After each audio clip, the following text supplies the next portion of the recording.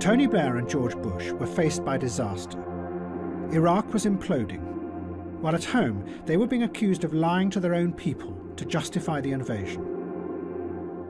What they desperately needed was something that would show that the invasion was having a good effect in the Arab world. So they made an extraordinary decision. They turned for help to the man who they had always insisted was one of the world's most dangerous tyrants. Colonel Gaddafi. And instead, they set out to make him their new best friend. It was going to be the highest achievement of perception management.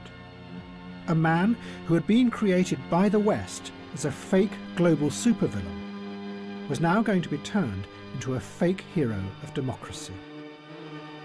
And everyone, not just politicians, would become involved. Public relations, academics, television presenters, spies, and even musicians were all going to help reinvent Colonel Gaddafi. It would show just how many people in the Western establishment had by now become the engineers of this fake world.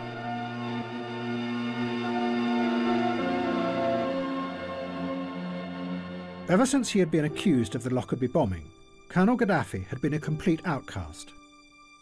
The West had imposed sanctions on Libya, and the economy was falling apart. But then suddenly, Tony Blair broke live into the BBC Evening News. The Prime Minister, Tony Blair, is about to make a statement the BBC understands from Downing Street. It's of international significance. He'll be making his statement at any moment. Now we can see pictures of him in Durham, evening, Durham City. Here he is. Colonel Gaddafi has confirmed that Libya has in the past sought to develop weapons of mass destruction capabilities, Libya has now declared its intention to dismantle its weapons of mass destruction completely. This decision by Colonel Gaddafi is an historic one and a courageous one, and I applaud it.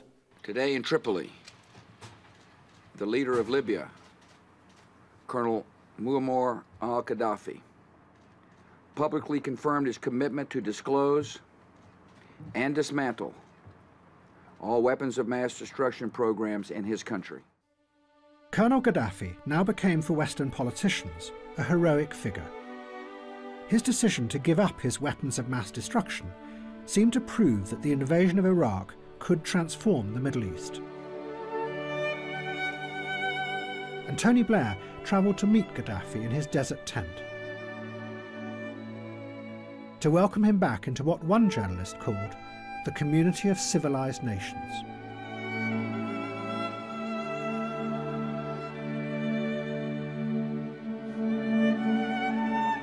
But as in the past, nothing was what it seemed with Colonel Gaddafi. In reality, Gaddafi did not really have the terrifying weapons of mass destruction that he was promising to destroy. His nuclear program had stuttered to a halt long ago, and never produced anything dangerous. He had managed to buy some equipment on the black market, but his technicians had been unable to assemble it. His biological weapons were non-existent.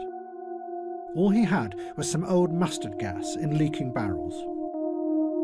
But now, he had to pretend to have a terrifying arsenal of weapons, and the West had to pretend that they had avoided another global threat. And then the made-up stories became even more complicated. As part of the deal, the West said that if Gaddafi admitted that Libya had done the Lockerbie bombing, then they would lift the sanctions. But many of those who had investigated Lockerbie were still convinced that Libya hadn't done it, that really it had been Syria. But Colonel Gaddafi confessed. His son Saif was interviewed about this confession he said that his father was simply pretending that he had been behind the Lockerbie bombing to get the sanctions lifted. That new lies were being built on top of old lies to construct a completely make-believe world. You have to accept, or you had to accept at that time, responsibility because you have to accept responsibilities, you have to pay compensation in order to get rid of the sanction. It means we did that not because we are convinced that we did it, but because to find an exit out of this nightmare So what you're saying is that you accept responsibility, but you're not admitting that you did it. Yes. And this is all a sham, you're saying, just to, just to get sanctions over with so that you can start normal diplomatic relations with okay. the West. Okay. What's wrong with that? It's a very cynical way to, to, to behave as, as a country, isn't it? Many people would say. Uh, uh, first of all, I mean, the Americans in the British, they told us to write that letter. They told us to pay compensation. And then they opened their embassies and they restored the relation and they came to us. It was their game, not our game.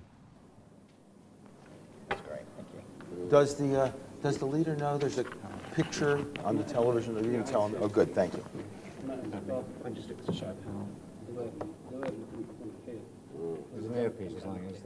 Public relations companies then came to Libya to do what they called reframing the narrative.